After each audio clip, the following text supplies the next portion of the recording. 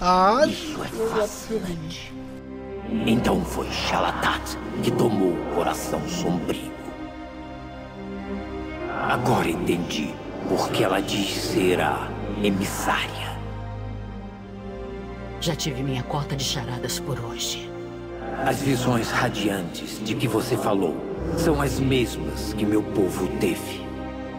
Antes de nosso mundo ser consumido pelo Senhor do Caos de Méncios. Quê? Você acha que...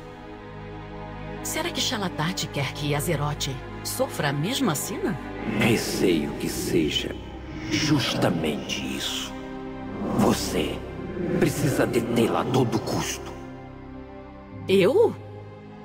Mas ela sabia exatamente como me atingir. Acho que eu não sou a mais indicada. Sim, ela sabia que seu maior medo era ver sua família em perigo.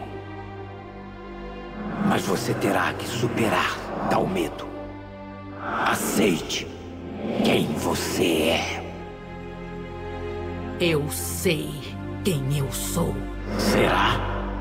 Você está desequilibrada. Valéria.